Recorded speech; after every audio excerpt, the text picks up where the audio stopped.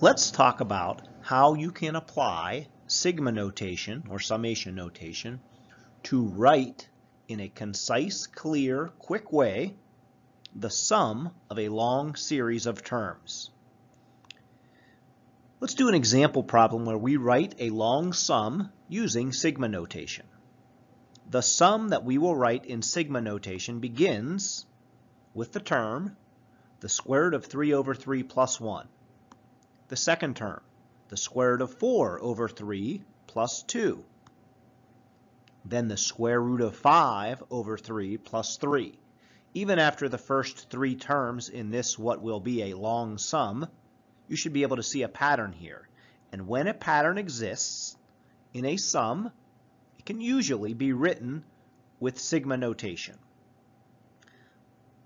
The fourth term is the square root of 6 over 3 plus 4. Then you're going to see a dot, dot, dot, which, which symbolizes that the sum goes on for a while in the same pattern. And then the final term in the sum is the square root of 27 over 3 plus 25. So there's a lot of terms in this sum. Only five of the terms have been written out.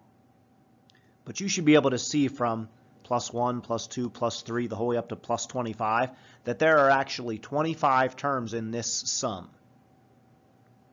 There's a pattern that exists in this sum, and because there is a pattern, we can write it using sigma notation.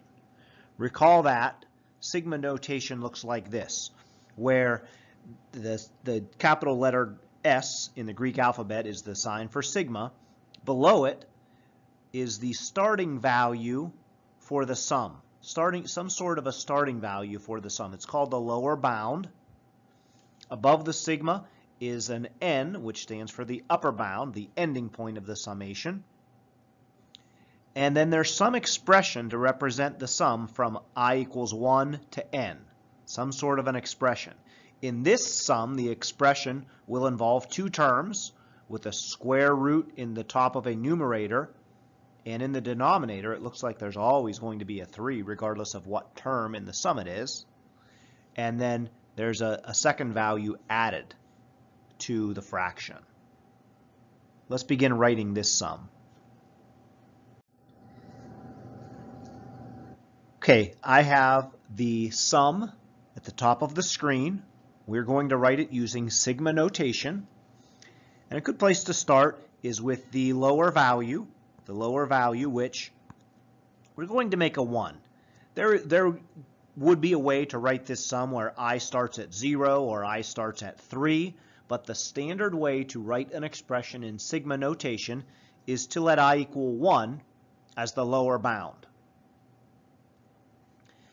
Each of the terms in this sum, each of the terms in the sum has two terms. Each of the 25 terms in this sum has two terms. The first term is a fraction, and then the second term is uh, simply a constant, an integer, starting at 1 and going the whole way up to 25. In every single term, the denominator of the fraction is always 3. That's not going to change. So when we write this sum, there will be a 3 in the denominator of that first term all the time. So I'm going to put a 3 there. It doesn't matter what the value of i is as we move through the sum. The denominator of the fraction is always 3. Added to the fraction is a value that begins at 1 and goes the whole way up to 25. Our index, our value of i, is starting at 1. We'll make that second term i. The first term in the sum, i will be 1, the second term 2, the third term 3, the whole way to the end of the sum, which ends with the 25. That's the upper bound of the sum. The numerator of the fraction involves a radical, involves a square root specifically. And as you can see, the terms under that radical sign are 3, 4, 5, 6. They go the whole way up to 27. Remember, our sum is beginning in terms of i with a 1. So I'm certainly not going to just put an i inside this square root. That would represent the square root of 1 in the first term. Here, we we have a square root of 3 in the first term.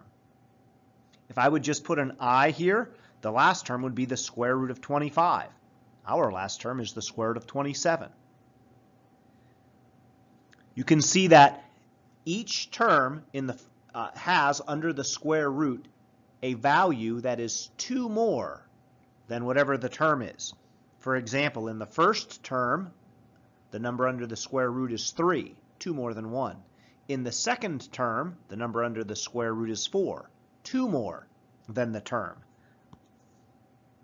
i plus 2 is the expression I can put inside the radical. In the first term, again, in the first term when i is 1, this would represent 1 plus 2, the square root of 3. In the last term, when i is 25, i plus 2 would be 25 plus 2, 27. This fits the pattern. In sigma notation, the 25 terms shown at the top of the screen can be represented as the sum as i goes from 1 to 25 of the square root of i plus 2 over 3 plus i.